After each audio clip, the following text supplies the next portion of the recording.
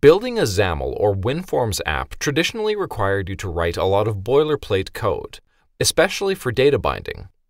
PostSharp MVVM almost completely eliminates this frustration and gives you back your time for something more meaningful. Here is a simple contact editor. If you modify the street number for an address, you can see that the change is not propagated to the list. This is because the classes don't implement the INotifyPropertyChanged interface yet. Let's look at the code. There are only two model classes, customer and address. The address class has a computed property named full address, which contains all other properties. The viewModel class has an even more complex computed property, label content.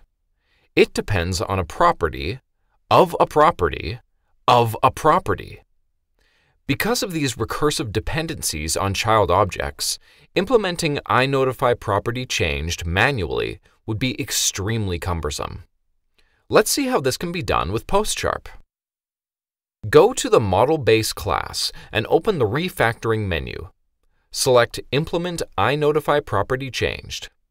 The first time you run this wizard may take a little longer, as PostSharp will install a few packages into your project. The only other change in your code will be a new custom attribute on the top of the class. Go to the Customer View Model class and do the same. Done! Now run the application again. Changes in address details are now immediately visible in the list. However, the label preview control does not work yet. Let's look at that.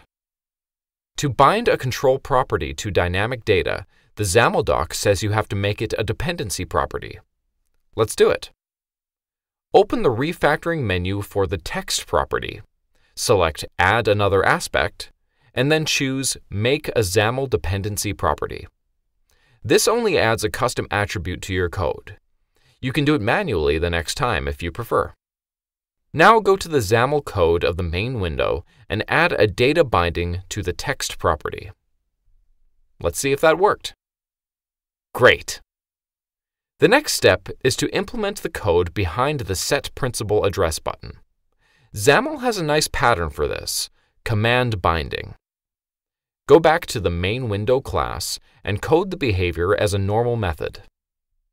Now open the refactoring menu and choose Expose as a XAML command with can execute. Provide an implementation for the can execute property. Note that the wizard has added the Notify Property Changed aspect to this class, and a new public property to expose the command. Now go to the XAML code and bind the button to the new command property. We're done! The button now does what it's meant to do, and it is dynamically disabled or enabled as it should be. Finally, let's add some validation to this form.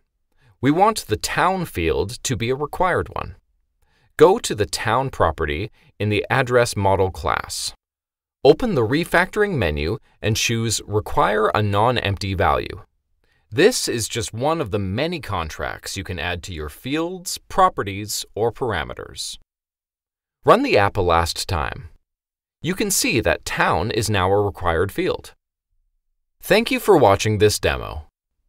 In just a few minutes, thanks to PostSharp, you have implemented INotifyPropertyChanged for simple and complex properties, turned a regular C-sharp property into a XAML dependency property, added a command with dynamic state notification, and added validation to your model. But most importantly, you avoided a lot of boilerplate and kept your business code crystal clear.